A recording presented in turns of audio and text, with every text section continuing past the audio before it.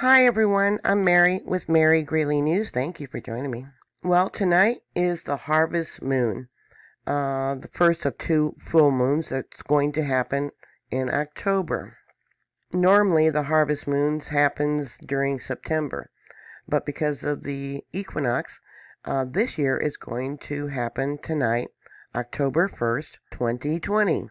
According to a Twitter post by Albert Ramon, on Halloween night, there will be also a full moon called a blue moon. That moon, the first time since World War II, is going to be visible around the entire world.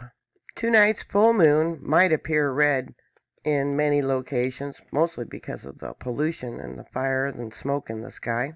And it will appear to be full for about three days, appearing about 5 p.m. Eastern Time. But then there's other websites that say because of its orbit, um, when your sun sets, the moon will be rising.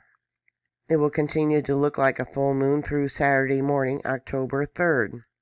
The last Halloween full moon visible around the globe came in 1944.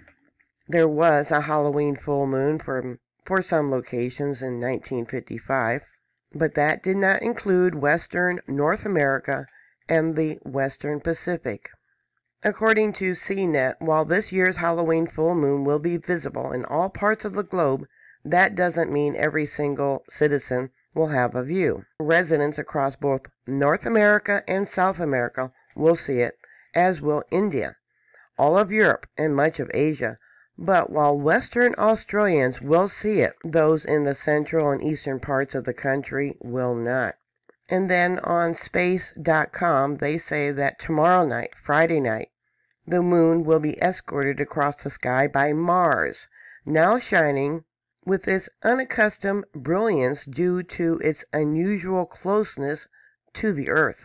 The orange-yellow Mars will glow just above the almost full moon. Well, in this case, it's going to be a full moon. Then there's the question, will a full moon cause earthquakes? Well, if a fault line is ready to rupture, yes, it could but just the gravitational pull of the moon being on, on one side and the sun on the opposite, that wouldn't cause the earthquake unless it's ready to rupture.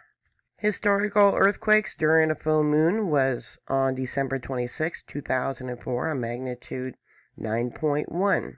And then one in Chile in 2010 and the Great Alaskan Earthquake in 1964. The New York Times has an article, I'll give you a link to this, and Susan Hoag's research about earthquakes and full moons.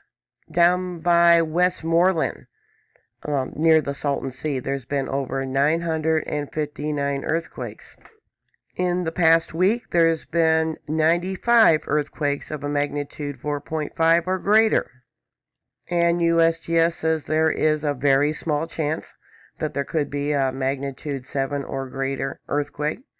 It's a small chance within the next seven days in that location there by the Salton Sea. So we'll just have to wait and see. What are your thoughts? Do you think the moon causes earthquakes? Well, it pulls on the earth and creates the tides. Um, like I said, I believe that they can if a fault line is ready to rupture. Yeah, I think that could be the triggering mechanism for uh, an earthquake. What are your thoughts? Thank you for watching. Please stay safe, and I will talk to you later. God bless you. Bye.